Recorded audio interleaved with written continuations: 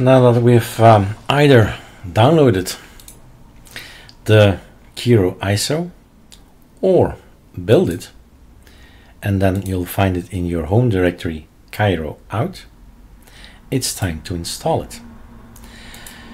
An easy way to do things is working with a template and these are the settings today for my template. I switched a few months ago maybe from VM SVGA to VBox SVGA again, right? Use what works, that is the general rule. Use what works. And um, these are the settings here. So general, we're an expert, advanced, description. Let's go over them so you can see what I have and decide if you want to change something else.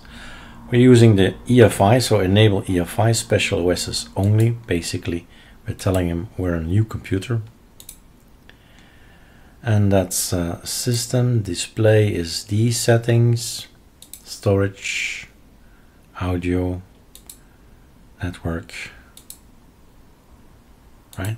And freeze the frame and see what I have, what you have, compare.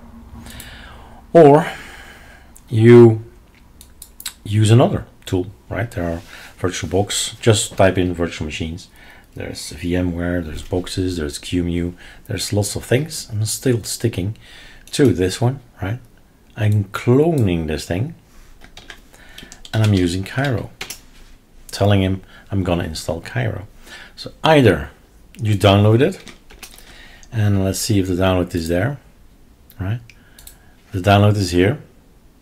So either you do it with a download or you do it with a build. Doesn't really matter. Well, yes, it matters, but it's in uh, it's just time-wise different. Older kernels, etc., older packages. So this, if you build it, it's the newest, the latest package, and if you update, there's nothing to update because you just build it. But when it comes from SourceForge, you'll have some some time, right? Some age. So choose. So let's take the one from SourceForge, which is in the download, which means we will do updates. You boot up and I've made decisions. So let's go over them. Kiro is less complexity. I don't want rEFInd. I don't want grub. I want systemd. Right? I do have NVIDIA in the home here. So I'll I kept this one. I don't want all the other kernels. I've been fine the last 10 years with the Linux kernel, all my machines. So I don't need LTS, I don't need ZenMod, Zen, whatever, right? So I skipped a few things. So you compare if you want to build the ISO, something similar as this, right? The idea is the Phoenix, build your thing from the ashes of the ArcoLinux project and also Kiro here. Then you need to compare. I've omitted three lines. They're just these lines now. So let's boot up. We're still bleeding. Spectre version 2 mitigation for the last 10 years, maybe. Not sure when it started. But here we are, and this you should be very accustomed to this thing, right? This is even the same wallpaper. just saying, welcome to ArcoLinux. There's no pop-up, there is no Arch Linux uh, login or anything, no. There is just Calamares. You want to install things like this. I recommend you do the debug. You see more in the debug than this one. It's just a button more, but it will tell you some more information about the installer. And this is simple, right? So there's no welcome app. Done, finished. What we'll keep is the Arch Linux tweak tool and the Arch Linux logout. Right? But this is the way how to launch it, install. You'll probably find it right. Once you say, what am I going to do with this thing? You probably have a look at all the applications that are there and you'll find it. So Calamares is the GUI. It's changed the way I want it. And this is the debug, right? So you have some more information if you want to investigate, learn about Calamares.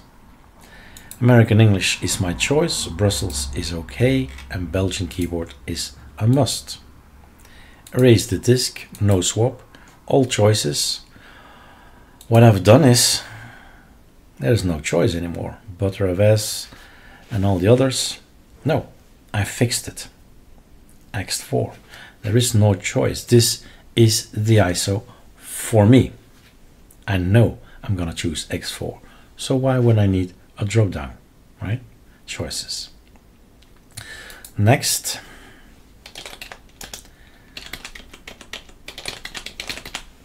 Use the same password. No complexity questions. I want to have that password. Install now and off it goes. And because of the, the debug thing, you can actually have a look what's going on technically. Click here. And these guys are just created by AI ChatGPT to be specific. Told him, look, give me some bluish, darkish sci-fi thing, future thing with the letters Kiro. And this is what it produced, right? I don't care. It's my ISO, right? Whatever is in here, the blah blah that all the distributions give, it's okay, right? It's fine, but I don't care. I know what my ISO is, what it does, what it can do, and this is just for fun. So I thought, yeah, let's just ask ChatGPT to create some nice images. It makes it bigger as well. Not that nice anymore, right? Better like this. Can be probably made smaller again. Still smaller. Yep, that's it. That's the smallest. And then it looks like this. So if you're developing, if you're designing things, right, make sure you've tested in all, all resolutions what happens to your application, in this case, Calamares. One of the things is, all right, there is no online choice. It's all offline. There will be zero problems because of the fact there is no, well, there's never zero problems, but uh, the, all the problems that are linked to the keys and going online and servers and firewalls and country blocking users and all that, right? It's avoided. Guys, the guys who want to create their own ISO for a community later on, right? Don't do the online option. That's what I've learned in 10 years now or eight years. Don't do that, right? It's too much danger give them an app to later install applications or configuration. Do that, but don't mess around because you can't control the online world, right? It's also it's it's uh, hard enough to already control all the hardware that's there. So Arch Linux, you see systemd-boot, no grub, systemd-boot, no rEFInd, no no need for it. And I'd like to have SDDM a nice little wallpaper its backend. Wayland is not a go yet but X, uh, chadwm is here. So if well let's go for well you've seen Xfce right? So let's go for chadwm and there we are.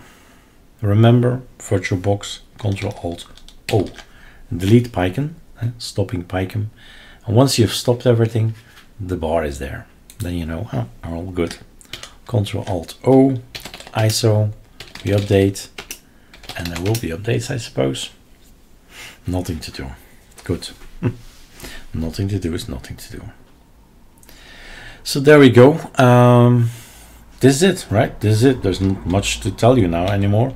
It's um, all the guys that were on ArcoLinux will recognize everything because it's basically reuse of all the code of ArcoLinux. So um, it's the chadwm, etc. etc. It's the XFCE. So in the config, have a look around. Chat WM. Alacritty is here, Arch Linux logout is here, btop, fast fetch, fish is here, Kvantum, logos, micro, neofetch. I mean, I'll take a look. Variety configuration, you see all the wallpapers coming up. I have not chosen this wallpaper, right? It's it's variety going to which one was it again? Wallhaven. Eh? Preferences, Wallhaven, fetching things for space, for minimal, sci-fi. That's that's a nice one. Yeah, voila. And then um, there you go.